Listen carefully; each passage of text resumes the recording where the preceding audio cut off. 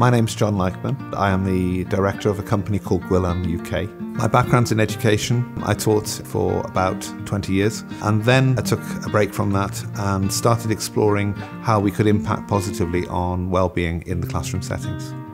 When I was a primary school pupil myself, I was often having a tough time in school and the one time in the week when I found calm was after the PE lessons when we play a game where we'd lie down on our backs um, with our eyes tight closed and it was called Sleeping Lions. I think we're all acutely aware of mental health and well-being issues at the moment. We need to be able to equip our future generations with the skill set to be able to cope and to be able to manage anxiety and stress in their lives. We thought, well, actually, maybe we could develop a piece of technology which would help pupils to find that calm in the school setting Sleeping Lions works on a tablet device. It uses distraction, immersion, and relaxation activities. But while the user is engaging with them, the device is all the time watching and listening to them too. There's a little lion in the corner, and as you become more relaxed, so the little lion starts to become a little bit sleepy too. I think what's innovative about this project is that it combines that with the biometric feedback. So it's a two-way process, so the user actually knows is it working or not?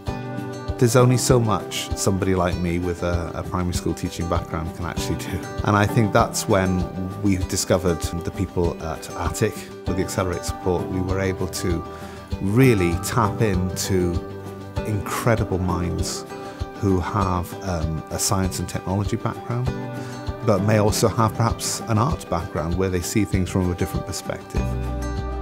John wanted to understand young people, understand how they were using the app, measure that, and provide notes on its efficacy and directions for the future as well. And that's where ATiC kind of stepped in. ATiC is the Assistive Technologies Innovation Centre. We're part of the University of Wales Trinity St David. We have a diverse team of expertise bringing a different perspective to challenges in healthcare. Uh, generally, our goal is to collaborate with enterprise and businesses in the health and well-being sector uh, we work with them to try and develop and optimize their products, systems, services, and we do this through research, understanding, uh, prototyping, and testing the efficacy of their products.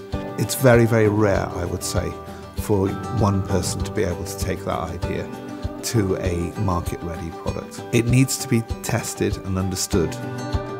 ATiC brought a range of ways to measure their experience using the app. So we were able to measure their heart rate, their breathing rate separately. We were able to uh, use a piece of software called Face Reader to understand their emotions and their concentration as they were engaging with it. This really helped us to understand the directions the app would need to go in.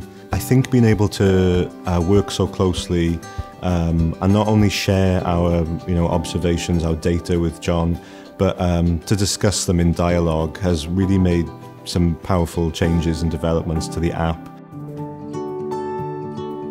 The Accelerate programme has been absolutely critical in supporting us. They have found ATiC and been able to supply us with a team of people that were able to understand what we wanted and to help us find out ways of achieving that. Without Accelerate, there would be no product. It's as simple as that. It would just be still an idea.